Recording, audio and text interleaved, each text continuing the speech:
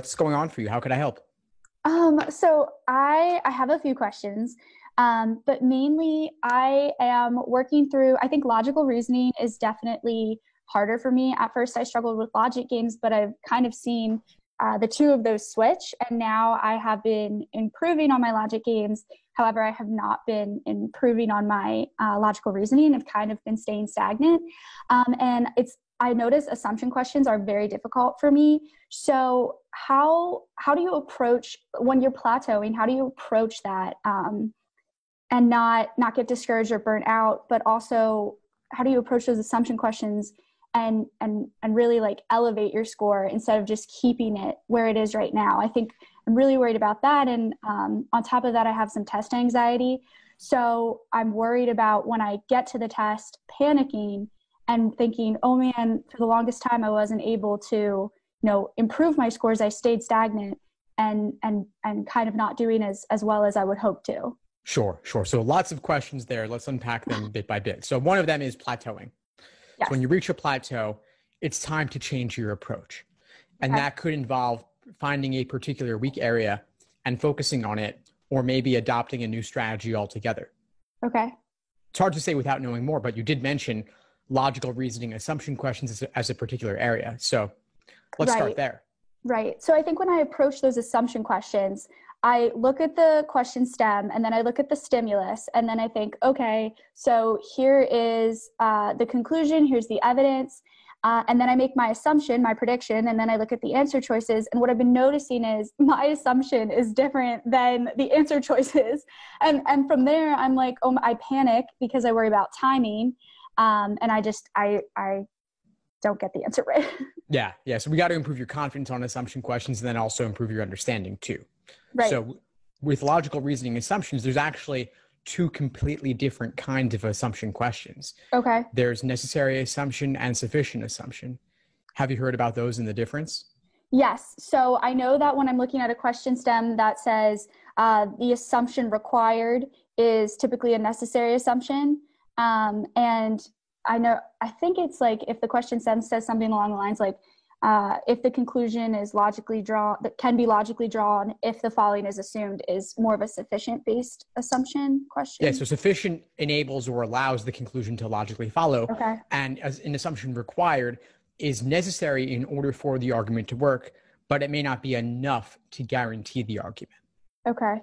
So, very different perspectives there. Okay. I think of necessary assumption questions as being a very specific kind of must be true question, okay. where they're not really opening the door to new information. They're just saying if everything in the stimulus is true, if that argument is valid, then what is a thing that would need to be true in order for that argument to work? Okay, so do you approach them in the same way you would approach a strengthen question where there's not new information being introduced? Um, well, strengthen just... questions actually do introduce new information.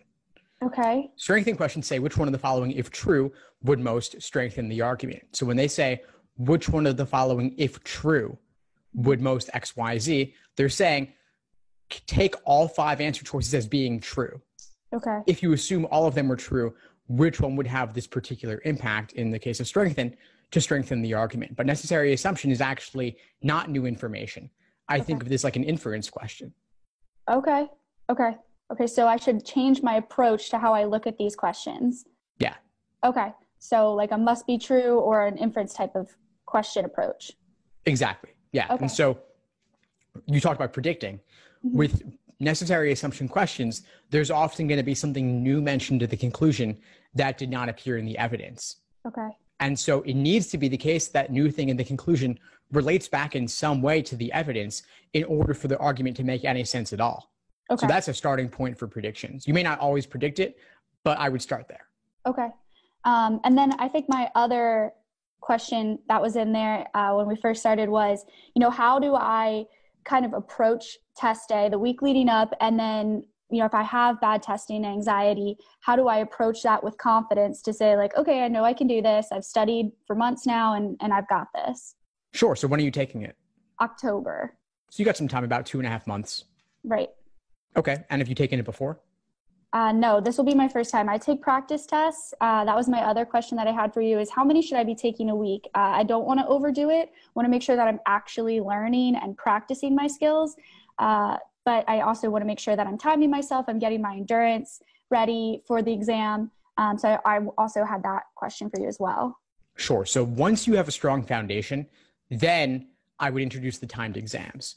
Okay. Maybe you could do a timed exam a week until that point, but okay. if you haven't totally gotten assumption questions down, for example, really again necessary assumption for sufficient assumption mm-hmm. then logical reasoning is not going to reflect your fullest potential because there's still that gap in understanding so i wouldn't rush to do timed exams yet okay. but if you really want to to work on pacing and endurance i would say do maybe one a week then once you've got a strong foundation then increase it to twice per week okay um, now okay. with regard to anxiety there's the score preview okay have you heard about that no i haven't so there's this new policy lsac introduced just last week, saying that starting with the August LSAT and every LSAT going forward, if you've never sat for the LSAT before, there's a new score preview option, meaning you can see your score before deciding whether to cancel.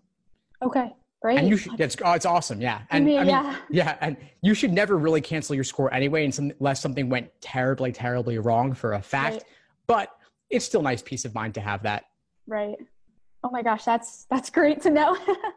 um, okay, yeah, those were my questions. Uh, primarily, I think that I, I really do worry about uh, you know getting to that test and then freaking out with the test anxiety that I have, um, and just knowing how to prepare um, because I think I you know I didn't start out great when I first started. I started with a low score in the 140s for my diagnostic test, um, and I've grown uh, about like nine nine ten points but I still have a lot of work to do. And so I worry that by October, you know, what can I be doing to to get my score to the mid high 150s?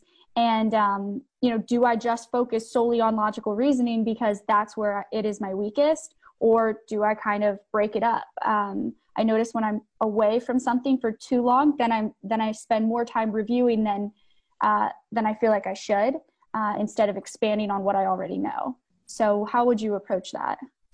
Yeah, it's good to mix things up. And my study plans go into this more, helping you build a foundation in every section of the exam. So I wouldn't say we only talked about logical reasoning today, but I wouldn't say only do logical reasoning. If you notice a weak area in games or reading comp, drill that on the side too and mix okay. it up doing some individual timed sections in games and reading comp too. And then if you're doing one exam a week, automatically you'll be mixing it in. Okay.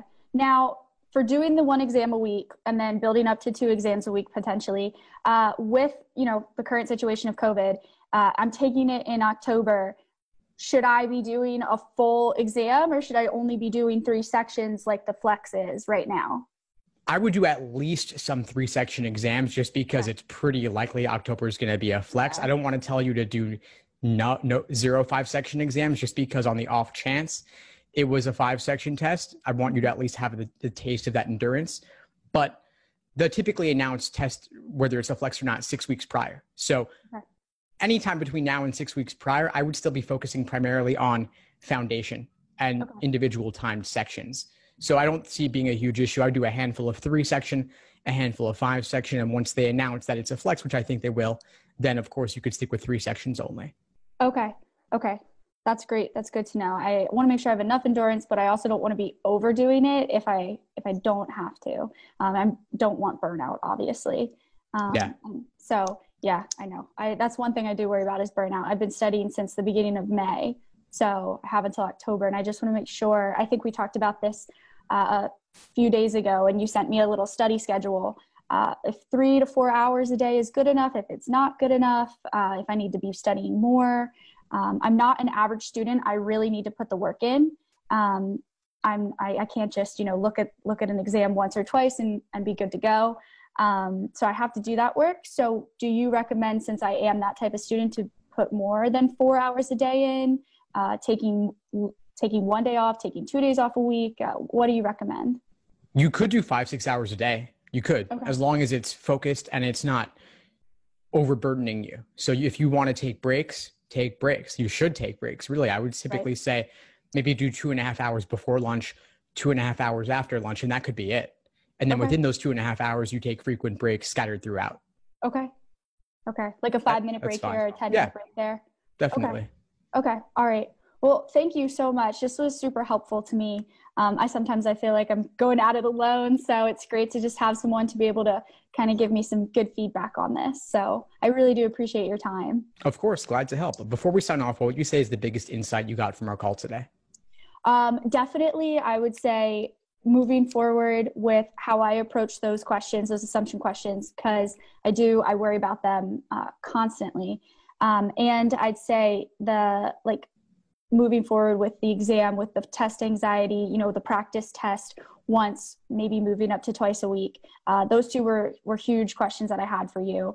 Um, I, I, don't want to feel like I'm falling behind the, the pack uh, by not doing an exam or two exams a week. Uh, but I also don't want to just constantly be testing myself because I feel like I'm not going to truly learn that way. Uh, and so that was a huge question for me that you answered today. Great, Maddie. We'll keep in touch. Let me know if you need anything moving forward. Great. Thank you so much. Have a great day. Thanks for tuning into the show. Please subscribe if you haven't done so already to be notified of new episodes as I release them. And feel free to reach out if you need anything at all as you move forward with your prep. I'm happy to help however I can. In the meantime, I'll wish you all the best and take care.